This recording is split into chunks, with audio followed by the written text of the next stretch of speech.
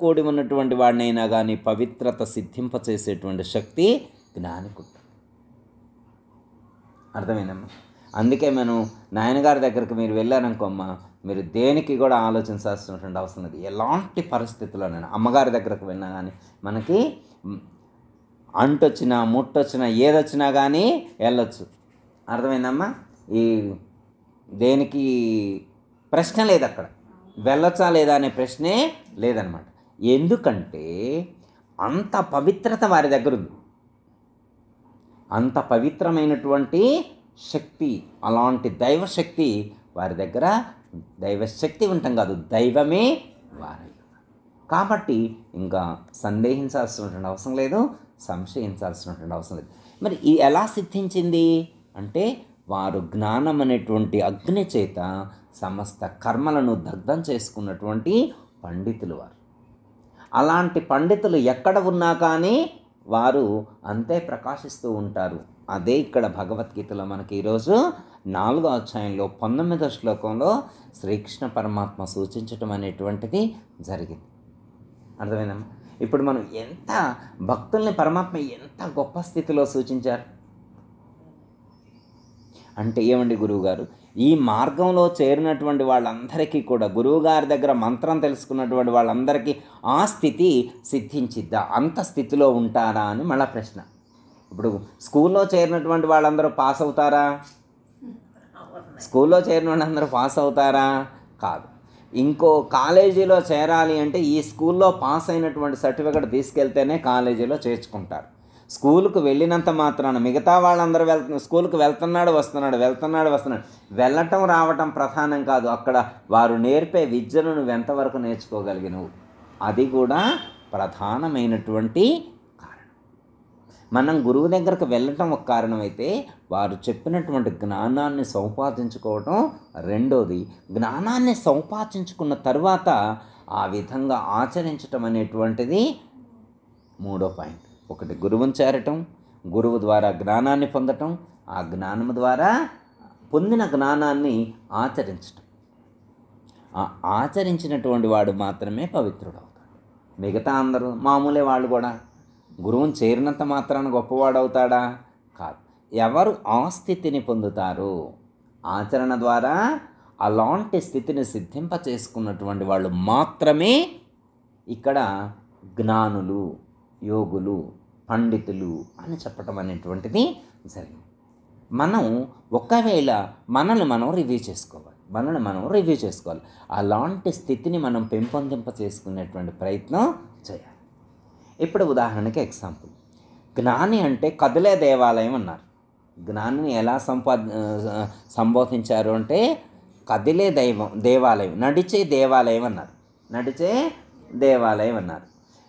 ఇదే ఇది నడుస్తుంటే ఇక్కడ చూసే దేవుడు ఉన్నాడు వినే దేవుడు ఉన్నాడు మాట్లాడే దేవుడు ఉన్నాడు నువ్వు ఇచ్చిన నైవేద్యాన్ని స్వీకరించే దేవుడు ఇక్కడే ఉన్నాడు. దేవుడు ఎక్క ఇది నడిచే దేవాలయం అయినప్పుడు వినే దేవుడు ఇక్కడే ఉన్నాడు చూసే దేవుడు ఇక్కడే ఉన్నాడు మాట్లాడే దేవుడు ఇక్కడే ఉన్నాడు నువ్వు ఇచ్చిన నైవేద్యాన్ని స్వీకరించే దేవుడు కూడా ఇక్కడే ఉన్నాడు. ఇక్కడ అంటే మనకు ఉపనిషత్తుల్లో కూడా అది చెప్పారు. దేహో దేవాలయో ప్రోక్తో జీవో దేవో సనాతన. తెదీత జ్ఞాన నైమాల్యం సోహం భావేన పూజయేత్ అని చెప్పారు. దేహమును దేవాలయంతో పోల్చారు. ఇందులో జీవుడు దేవుడు సనాతన కాలం నుంచి ఉన్నాడు. ఇందులో ఉన్నటువంటి దైవానికి జీవుడు నిరంతరం కూడా సోహం సోహం అనేటువంటి మంత్రంతో రోజుకు ప్రతిరోజు కూడా ఇరవై ఒక్క వెయ్యి ఆరు వందల సార్లు జపం చేస్తూ ఉన్నాడు. సోహం అంటే బ్రహ్మమే నేను బ్రహ్మమే నేను నేనే బ్రహ్మము బ్రహ్మమే నేను. ఏమని చెప్తున్నారు? నువ్వే బ్రహ్మము నువ్వే బ్రహ్మము నువ్వే దైవము నువ్వే దైవము దైవం నీకంటే ఎక్కడో లేడు అని చెప్పారు.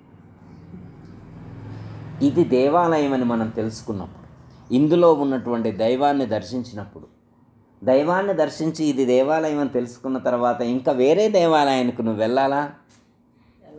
వెళ్ళని అవసరం లేదు. ఎట్లా అంటే ఒకళ్ళు పరంపదించారు. అక్కడికి వెళ్ళారు వీళ్ళు. మళ్ళీ ఇంటికి బయలుదేరి వెళ్తున్నారు. కొత్త కోళ్ళు అనమాట కొత్త కోళ్ళు అనమాట ఇంటికి వచ్చింది వెంటనే వాళ్ళ అమ్మగారు ఫోన్ చేశారు. మీ అత్తగారు ఉన్నారా అన్నారు. అత్తగారు ఇప్పుడే ఎవరో పరంపదించారంటే అక్కడికి వెళ్ళారమ్మా. సాయంత్రం వస్తారు అని మరి వచ్చేప్పుడు గుడికి వెళ్ళి రమ్మన్నాడు వచ్చేప్పుడు గుడికాడికి వెళ్ళి కాళ్ళు కట్టుకొని దండం పెట్టుకోండి మనం. లేదా స్నానం చేసి గుళ్ళోకి వెళ్ళి దేవుణ్ణి దండం పెట్టుకోండి రమ్మనమ్మా. మీ అత్తగారికి బొత్తికి ఏం తెలియదు అని. ఎమ్మటే కోడలు ఫోన్ చేసింది అత్తగారికి. ఫోన్ చేసి అత్తయ్య గారు మా అమ్మగారు చెప్పారు వస్తా వస్తా గుడికి వెళ్ళి స్నానం చేసి దేవుణ్ణి దర్శనం చేసుకొని రమ్మన్నారు. చెప్పారు. ఇది పక్కింటి ఆమెనది ఇంకొక వాళ్ళు భక్తులు అనమాట వాళ్ళ అత్తగారు భక్తులు అనమాట వాళ్ళ అత్తగారు భక్తులు అదే సేమ్ మళ్ళీ ఫోన్ కాల్. అక్కడికే వెళ్ళిందనమాట సేమ్ ఫోన్ కాల్ అనమాట ఫోన్ చేసి మరి మా నాన్నగారు చెప్పారు అత్తయ్య గారు ఇట్లా మీరు వచ్చేప్పుడు గుడికి వెళ్ళి స్నానం అనేది చేయండి అది కాళ్ళు చేతులు కట్టుకొని అయినా దేవుణ్ణి దర్శనం చేసుకుని అండి అని చెప్పారు. చెప్తే ఈవిడెమ్మటే చెప్పింది అనమాట సరే అన్నది ఇంటికి వెళ్ళిన తర్వాత ఈవిడ స్నానం చేయలేదు కాళ్ళు కడుక్కోలేదు గుడికి వెళ్ళలేదు ఇంటికి వెళ్ళి కాళ్ళు కడుక్కొని లోపలికి ఏ వచ్చిందనమాట. రాంగ్లో ఉన్న కోళ్ళకి అది పట్టుకొని ఉందిగా. వాళ్ళ నాన్న చెప్పింది పట్టుకొని ఉంది కదా. అత్తయ్య గారు గుడికి వెళ్ళారా? వెళ్ళలేదమ్మా అన్న. కోపం వచ్చింది. ఇక అప్పుడు అన్నం వండలేదు నిగరబెట్టి ఆ, కోపం వచ్చింది. అనవాళ్ళే ఏందబ్బా మ్, ఎనిమిది అయినా కుక్కర్ పెట్టట్లేదు అని చెప్పి ఏంటమ్మా మరి కుక్కర్ పెట్టలేదంటే అత్తయ్య గారు నేను గుడికి వెళ్ళమంటే మా నాన్న చెప్పిండు గుడికి వెళ్ళమని మీరు వెళ్ళలేదు మనకి తప్పు వచ్చిందంట. మ, ఏదో అయిపోయిందని భయం అవుతుందని ఆపండి కూర్చోబెట్టి అమ్మ మే- నేను గురువుని చేరామ్మా మా గురువుగారు ఈ దేహమే దేవాలయం అని చెప్పారు ఇందులో దేవుడు ఉన్నాడని చెప్పారు నిరంతరం ఇక్కడే పూజ చేస్తూ ఉన్నానమ్మా. నేను రోజు దేవుడిని చూస్తూనే ఉన్నా. ఆ పరంపదించిన ఆయన దగ్గరికి వెళ్ళినా కానీ నేను పూజ చేస్తూనే ఉన్నా. నేను పూజ ఆపితే కదా నేను దేవాలయంలోనే ఉన్నామ్మా నేను నిరంతరం ఈ దేహం అనే దేవాలయంలోనే ఉంటున్నా. నేను నిరంతరం దేవాలయంలో నేనే దేవాలయంలో ఉంటే ఇంకో దేవాలయం కాడికి నేనెందుకు వెళ్ళాలమ్మా? నేను దేవాలయంలో లేకపోతే ఇంకో దేవాలయం కాడికి వెళ్ళా. నేనే దేవాలయంలో ఉంటిని. ఇదే దేవాలయం. కాదంటవా? ఏ పండితుడినైనా పిలువమ్మా. ఉపనిషత్తుల్లోనే చెప్పారు. వేదాంత శాస్త్రాలు దేహో దేవాలయో ప్రోక్తో జీవో దేవో సనాతన చేదేత జ్ఞాన నైర్మాల్యం సోహం భావేన పూజయ్యారు దేహం అనే దేవాలయంలో దేవుడు జీవుడు స్థిరంగా ఉన్నాడు. ఉన్నాడని గుర్తేంటి? ఎమ్మటే కో- కోపం మీద ప్రశ్న అనమాట దేవుడు ఇందులో ఉన్నాడని గుర్తేంటి అని. అమ్మ దేవుడు ఉండబట్టే కళ్ళు చూడగలుగుతున్నాయి దేవుడు ఉండబట్టే చెవులు వినగలుగుతున్నాయి దేవుడు ఉండబట్టే ముక్కు వాసన ఎరుగుతుంది ఉచ్ఛ్వాస నిశ్వాసాలు జరుగుతున్నాయి. దేవుడు ఉండబట్టే మాట్లాడగలుగుతున్నా దేవుడు ఉండబట్టే తినగలుగుతున్నా దేవుడు ఉండబట్టే బ్రెయిన్ పనిచేస్తుంది దేవుడు ఉండబట్టే హార్ట్ పనిచేస్తుంది దేవుడు ఉండబట్టే కిడ్నీ పని పనిచేస్తుంది. ఇవన్నీ పనిచేస్తున్నాయి అంటే దేవుడు ఉండబట్టే. దేవుడు ఎప్పుడైతే ఈ శరీరం నుంచి నిష్క్రమిస్తాడో అప్పుడు అన్నీ ఉంటాయి కానీ ఏవీ పనిచేయవు దేవుడు ఉన్నదానికి అదే గుర్తమ్మా అని చెప్పింది. అప్పుడు వెలిగింది కోడల గారి కొత్త కోడలు గారికి అమ్మయ్య దేవుడు ఉన్నాడు అన్నది. మా అత్తయ్య గారు చెప్పేది కూడా కొద్దిగా అర్థమవుతుంది నాకు అని చెప్పి సరేలే అత్తయ్య గారు నేను పొరపాటున అర్థం చేసుకున్నా అప్పుడు కుక్కర పెట్టింది. అర్థమైందమ్మా? తెలియకపోతే ఇంకో దేవాలయం కాడికి వెళ్ళాలా? ఇదే దేవాలయం అని తెలిస్తే నేను దేవాలయంలోనే ఉన్నాను అనే జ్ఞానం ఉన్నటువంటి వాడికి ఎక్కడికి వెళ్ళినా కానీ ఆ దేవాలయానికి కానీ దైవత్వానికి కానీ దూరంగా ఆఖ్యానంలోనే ఆ ధ్యానంలోనే ఉంటాడు. నిరంతరం పూజ చేస్తూనే ఉన్నాడుగా. సో హం పూజ ఎప్పుడు ఆగిందమ్మా? ఆగిందమ్మా? మనం పుట్టి అది పుట్టిన కాడి నుంచి పుట్టిన కాడి నుంచి చివరి క్షణం వరకు కూడా పూజ జరుగుతూనే ఉంది కదా. కాకపోతే మనం నలభై ఏళ్ళప్పుడు తెలుసుకున్నాం. ఒక ఆయన యాభై ఏళ్ళప్పుడు తెలుసుకున్నాడు. ఒక ఆయన అరవై ఏళ్ళకు తెలుసుకున్నాడు. పూజ జరిగే విషయాన్ని తెలుసుకోవడానికి టైం పట్టింది తప్ప పుట్టిన కాడి నుంచి పూజ జరుగు పూజ ఆగితే అసలు ఆగినట్టే.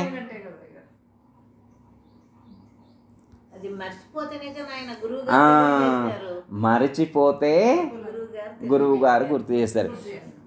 పుట్టినప్పటి నుంచి తుది శ్వాస విడిచేటువంటి చివరి క్షణం వరకు పూజ జరుగుతూనే ఉంది. ఆ పూజకు సంబంధించినటువంటి జ్ఞానం మనకు లేదు.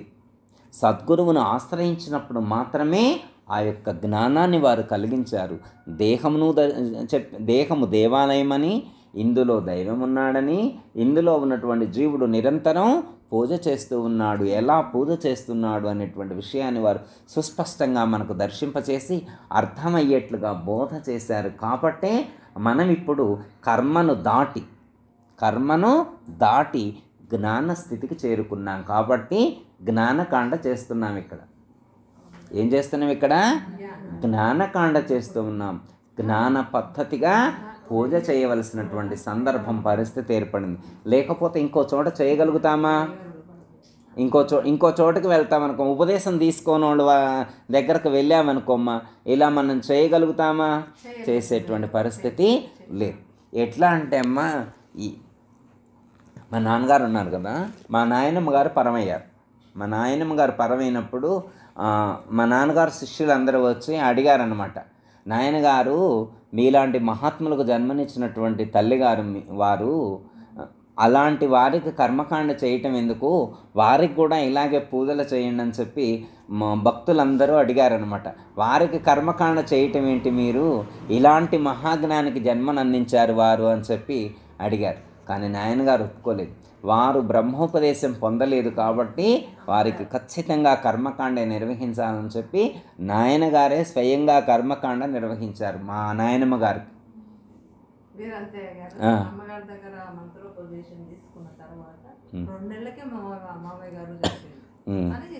అంతే అమ్మ. ఇప్పుడు ఎందుకంటే బ్రహ్మోపదే నాయనగారి తల్లిగారికే కర్మకాండ చేయవలసినటువంటి పరిస్థితి వచ్చింది. ఎందుకంటే మీ ఇక్కడ తల్ల తండ్రి కొడుకు ఇవన్నీ కూడా భౌతికమైనటువంటి బంధాలు. అంతే. మీ నాన్నగారు చాలా అదృష్టవంతుడు. ఆ గర్భ ఏ గర్భవాసంలో జన్మించరు కానీ ఒక జ్ఞానితోని కర్మ చేయించుకుర్రయ్యా. మీ నాన్నగారు ఎంతో అదృష్టం అని తెల్లవారి అమ్మగారు అందరూ వచ్చారు అలా కర్మ చేయించుకున్నటువంటి వాళ్ళకి ఉత్తమ గతులు ప్రాప్తిస్తాయి. ఉత్తమ గతులు ప్రా ప్రాప్తిస్తే ఖచ్చితంగా వచ్చే జన్మలో ఒక మహాత్ముల ఇంట్లోనే జన్మించి ఈ యొక్క ఆధ్యాత్మిక మార్గంలో ముందుకు వెళ్ళేటువంటి అవకాశం ఉంటుంది. అంతే అమ్మ. ఉంటుంది ఖచ్చితంగా ఉంటుంది. భగవద్గీతలో చెప్తారు కమ్మ మనకి ప్రాప్య పుణ్య కృతాన్లోకాను ఉషిత్వ శాశ్వతి సమ శుచీనాం శ్రీమతాంగేహే యోగ భ్రష్టో విజయతే అని చెప్పారు. ప్రాప్య పుణ్య కృతాం లోకాను ఉషిత్వ శాశ్వతి సమ. శుచీనాం శ్రీమతాంగే యోగ భ్రష్టో విజయతే అన్నాడు మనం ఒక ఆధ్యాత్మిక మార్గంలో ముందుకు వెళ్ళిన తర్వాత లక్ష్యాన్ని చేరుకోకముందే శరీరాన్ని విడిచిపెట్టినట్లయితే మళ్ళీ నెక్స్ట్ జన్మలో వచ్చేప్పుడు శుచీనాం శ్రీమతాంగేహి మంచి ఆచారవంతులైనటువంటి ధనవంతులైనటువంటి శ్రీమంతుల ఇంట్లో జన్మిస్తామని చెప్పారు. ఎందుకంటే ఆచారవంతుల ఇంట్లో జన్మిస్తే పుట్టిన కాడి నుంచే వాడు తెలియనప్పటి నుంచే ఉపనిషత్తులు లేదా భగవద్గీత విష్ణు సహస్రనామాలు లలితా సహస్రనామాలు ఇవన్నీ ఆధ్యాత్మిక సంబంధమైన అన్నీ వింటూ ఉంటాడు. చిన్న పడుకొని ఇక్కడ ఉంటారనుకోమ్మ అక్కడ పూజ చేస్తూ ఉంటారనుకో ఆ యొక్క మంత్రాలు వస్తూ ఉంటాయి చేరుతుంటాయి కదా. తనకు తెలిసినా తెలియకపోయినా అలాంటి వాళ్ళ ఇంట్లో. మళ్ళీ వీడు పెరిగిన తర్వాత మళ్ళీ పని చేసుకొని సాధన చేసుకోవాలంటే ఇబ్బంది అవుతుందని చెప్పి ఉన్నోళ్ళ ఇంట్లోనే ధనానికి కొదవ లేకుండా ఆచారానికి కొదవ లేనటువంటి మంచి శ్రీమంతులైనటువంటి సదాచారవంతులైనటువంటి వాళ్ళ ఇంట్లో జన్మింపచేస్తాను అని చెప్పారు. అలాగే ఇట్లా జ్ఞాని అయినటువంటి వాళ్ళతో ఆ యొక్క కర్మ చేయించుకున్నటువంటి వాళ్ళు కూడా అంతకంటే ఉత్తమమైనటువంటి గతినే పొందుతుంది తప్ప తక్కువ స్థితికైతే ఏమాత్రం చేరుకోరు అని చెప్పి మనం చెప్పుకోవచ్చు అలాంటి ఉత్తమ స్థితి ప్రాప్తిస్తుంది. అందులో ఏమాత్రం కూడా సందేహం ఉండదమ్మా. ఎందుకంటే ఇది చేసేటువంటి దాన్ని శ్రాద్ధము అంటారు. శ్రాద్ధ కర్మలు అంటారు. శ్రాద్ధ కర్మలు అంటే వేరే ఏదో అని కాదు. శ్రద్ధతో నిర్వహించేటువంటివి అని అర్థం. శ్రద్ధతో చేయాలన్నమాట. శ్రద్ధతో చేయాలి. ఇంకోటి ఏమని చెప్పారంటే అమ్మా ఇలాంటి కర్మకాండాలు చేసేటువంటి స్థలంలో నాన్ వెజ్ కూడా ఉపయోగించకూడదని చెప్పి శాస్త్రంలో చెప్పారు. మాంసాహారాన్ని పెట్టకూడదమ్మా. ఇవి అందరూ అలవాటు పడి ఉన్నారు తినటానికి అలవాటు పడి ఉన్నారు కాబట్టి పెడుతున్నారు తప్ప లేకపోతే అది పెట్టకపోతే చుట్టాలు రారన్న ఉద్దేశంతో పెడుతున్నారు తప్ప లేకపోతే అది వినియోగించకూడదని శాస్త్రం శాస్త్రంలో మాత్రం అది పెడితే ఆ పవిత్రత సిద్ధించదని చెప్పబడిందమ్మా. ఎవరైనా సరే ఉపదేశం తీసుకున్న తీసుకోకపోయినటువంటి వాళ్ళకు కూడా కర్మకాండ నిర్వహించేటువంటి దాంట్లో పెడ ఇక కొంతమంది అయితే మాంసాహారంతో పాటు మందు సీసా కూడా పెడతారు అన్నీ పెడతారనమాట కొన్ని ఏమి ఏమిటి నాయన అంటే మా మతం ఇదే అండి మా మతంలో ఇవన్నీ పెట్టాలంటాడు. మతంలో అవన్నీ పెట్టాలి. అవేమీ లేవమ్మా. శాస్త్రంలో ఏమని చెప్పారంటే పిండోదకములు అన్నారు. పిండోదక పిండోదకాలు పెట్టాలన్నమాట. పిండ ప్రధానాలు సమర్ప చేస్తారన్నమాట. పిండోదకం అంటే మన జ్ఞానంలో ఏం చెప్పారంటే వ్యవహారికంగా చేస్తే చెయ్యి కానీ జ్ఞానంలో మహాత్ములు మన నాయనగారు కానీ సీతమ్మ గారు కానీ ఏమని చెప్పారంటే పిండోదకం అంటే పిండము అంటే ఆహారం ఉదకం అంటే నీళ్ళు. పిండం అంటే ఆహారం ఉదకం అంటే నీళ్ళు. నాయన ఒక ప్రాణి జీవించి ఉన్నప్పుడే అంత పిండం అంత ఆహా నీళ్ళు అయిపోయి ఉదకం అంటే నీళ్ళు. పెద్ద వయసు వాళ్ళు ఉంటారు తల్లిదండ్రులు ఉన్నారు. తల్లిదండ్రులకు పిండోదకాలు ఏంటి వాళ్ళు జీవించి ఉన్నప్పుడే వాళ్ళకు లోటు లేకుండా కాస్త ఆహారాన్ని అందించు మంచినీళ్ళకు లోటు లేకుండా మందులకు లోటు లేకుండా మంచిగా చూసుకోని ఆయన అని చెప్పి చెప్పారు. పిండోదకం అంటే పిండము ఉదకము బతికున్నప్పుడు పెట్టమన్నారు. బతుకున్నప్పుడు తల్లిదండ్రులను చూడకుండా విడిచిపెట్టి ఎక్కడెక్కడో తిరిగి వాళ్ళని ఎల్లగొట్టి నానా ఇబ్బందులు పెట్టి తర్వాత పరమపదించిన తర్వాత ఈ లాస్ట్ రోజున కర్మ రోజున చుట్టాలందరిని పిలిచి బంతుల మీద ఇంతింత వండించి పెట్టినంత మాత్రాన తల్లిదండ్రులు ఆశీర్వదించుతారా? తల్లిదండ్రులు దీవించుతారా? వాళ్ళు ఉన్నప్పుడే పెట్టడా. నాయనగారు ఒకటి చెప్పేవారమ్మ. నాయనగారు ఒకటి ఎప్పుడో ఎగ్జాంపుల్ చెప్పేవారు ఒక ఆయన కోట్లు సంపాదించిండంట. కోట్లు ఎందుకంటే తను కష్టపడడానికి పిల్లగాళ్ళు కష్టపడకూడదు వాళ్ళని మంచిగా ఉంచాలి అనే ఉద్దేశంతో బాగా కష్టపడ్డాడు అనమాట కష్టపడి ఎనిమిది కోట్లు సంపాదించాడు. సరే మంచి ఇల్లు కట్టిండు.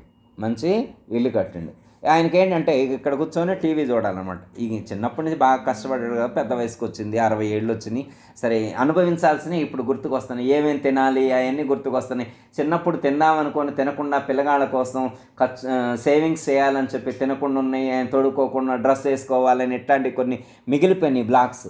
ఆ మిగిలిపోయిన వాటన్నింటిని గుర్తు చేసుకుంటాడు. పిల్లగాడు బజారుకు పోయేప్పుడు నాయన వచ్చేప్పుడు నాలుగు లడ్డూలు చేస్తారా నాయన? ఇట్లా చెప్తూ ఉన్నానమాట పిల్లగాడు కూడా అవకాశం ఉన్నప్పుడు తెస్తూ ఉన్నాడు. ఒక రాజు ఊరు వెళ్తూ ఉన్నాడు. కలకత్తా వెళ్తున్నానమాట పిల్లగాడుతోటి అరే రే కలకత్తా వెళ్తున్నా అక్కడ రసగుల్లాలు బాగుంటాయి అంటారా నువ్వు తీసుకొని రారా వచ్చేప్పుడు నాకు ఎప్పుడు మా చిన్నప్పుడు మా మేన మావయ్య ఎవరు చెప్పారా రసగుల్లాలు కలకత్తాలో మంచిగా చేస్తారని చెప్పారు తీసుకురారా అని చెప్పి చెప్పిండు. రెండు మూడు రకాలు తీస్తారా అయ్యి అన్నాడు. ఈ బిజినెస్ పని మీద పోతుంది. వీడు ఆడికి వెళ్ళిన తర్వాత బిజినెస్ పని మీద పోయిన తర్వాత అక్కడ వీడికి పని అవ్వలేదు. ఈ కాంట్రాక్ట్ క్యాన్సిల్ అయిందనమాట. వీడికి కాంట్రాక్ట్ క్యాన్సిల్ అయిపోయింది అయిపోయింది. చాలా మూడు అవుట్ లేదు. మంచిగా లేదు. మూడు మంచిగా లేదు మూడు అవుట్ అయిండు. ఇక కొనబుద్ధి కాలేదు. ఇక ఏమీ చేయబుద్ది ఎమ్మటే స- సర్ది సర్దుకున్నాడు. ఎమ్మటే నెక్స్ట్ ఫ్లైట్ ఉంటే వచ్చేసిండు. వచ్చేసిన తర్వాత ఈయన పిల్లగాడిని పిలిచి అడిగిండు ఏనా రసగుల్లా తెచ్చినవారా? తెచ్చినాడు ఏ తేలిపోనాడు ఇక వెళ్ళిపోయాడు. సీరియస్గా వెళ్ళిపోయినాడు రావడం మళ్ళీ వచ్చేప్పుడు మళ్ళీ పిల్లగాడు రూమ్లో తెచ్చిన వారా అన్నాడు. తేలేదన్నాడు. ఏం తేలేదని తండ్రి మీద చిరాకు పడ్డాడు. తండ్రి మీద చిరాకు పడ్డాడు అనమాట ముసలోడికి ఇంత వయసు వచ్చినా కానీ అరవై డెబ్బై ఏళ్ళు వచ్చినా రసగుల్లలు కావాలంటే వీడికి తిని పండు పడుండేదాన్ని మంచంలో పడుండేదానికి అని చెప్పి తిట్టడం మొదలుపెట్టింది కోపం వచ్చింది వెళ్ళిపోయింది ఈయన హట్ అయింది మనసు గాయమైంది అనమాట ఇన్ని ఇంత కష్టపడి ఎనిమిది కోట్లు సంపాదించి పెద్ద బిల్డింగ్ కట్టించి ఏసీలు పెట్టించి ఇంత చేస్తే వాడు ఈరోజు రెండు రసగుల్లాలు దాటానికి ఇంత ఫీల్ అవుతాడా అని చెప్పి ఎందుకు ఈ బ్రతుకని చెప్పి లోపల లోపలే కుమిలి కుమిలి కుమిడి కొంచెం బాధపడుతూ వెంటనే రెండు రోజుల్లోనే శరీరాన్ని విడిచిపెట్టాడు. ఇక భార్య చెప్పిందనమాట. భార్య చెప్పింది మీ నాన్న పోయేప్పుడు రసగొల్ల రసగొల్లని పోయిండు మావోడు రసగొల్ల ఇక అప్పుడు ఇక అయ్యగారిని పిలిచిండు మా నాన్న రసగొల్లల మీద మనసు పెట్టుకొని పోయిండంట అయ్యగారు. రసగొల్లల మీద మనసు పెట్టుకొని పోయిండు అట్లనా? అయ్యయ్య కలకత్తా. అయితే ఆర్డర్ ఇచ్చి తెప్పించినాను. పెద్ద పెద్ద రసగొల్లలు తెప్పించి బంతుల మీద వేల కొద్ది పెట్టించిండు. ఇప్పుడు వాళ్ళ నాన్నకేమైనా చేరిందా? అమ్మ బ్రతికున్నప్పుడు ఒక లడ్డు తెచ్చిపెట్టి ఒక రసగొల్ల పెట్టలేక ఆయన పరమపదించాక బంతుల మీద నువ్వు పెడితే ఏంటి పెట్టకపోతే ఏంటి? బ్రతికున్నప్పుడు వాళ్ళ ఇష్టం ఏదో గుర్తించి దాన్ని ఇవ్వటంలోనే ఆ కర్తవ్యం బాధ్యత అవన్నీ కూడా ఉంటాయమ్మా. లేకపోతే ఎందుకమ్మా? ఎంతో సేవ చేసి మన కోసం వాళ్ళు ఎంతో త్యాగం చేశారు వాళ్ళ జీవితాన్ని. అలా త్యాగం చేసినటువంటి వాళ్ళ కోసమే మనం వినియోగించకపోతే మన యొక్క జన్మెందుకమ్మా అర్థమైందమ్మా? అందుకని అలాంటి పరిస్థితి మన భక్తులకు రాకూడదు. మన భక్తులందరూ కూడా తల్లిదండ్రులను గొప్పగా చూసుకోవాలి. వాళ్ళ యొక్క కోరికలు ఏంటో తెలుసుకొని వాళ్ళ యొక్క అవసరాలు ఏంటో తెలుసుకొని వాళ్ళ ఇష్టాలు ఏంటో తెలుసుకొని అవి పూర్తి చేసినప్పుడు మాత్రమే అతను ముందు కొడుకుగా సక్సెస్ అవుతాడు.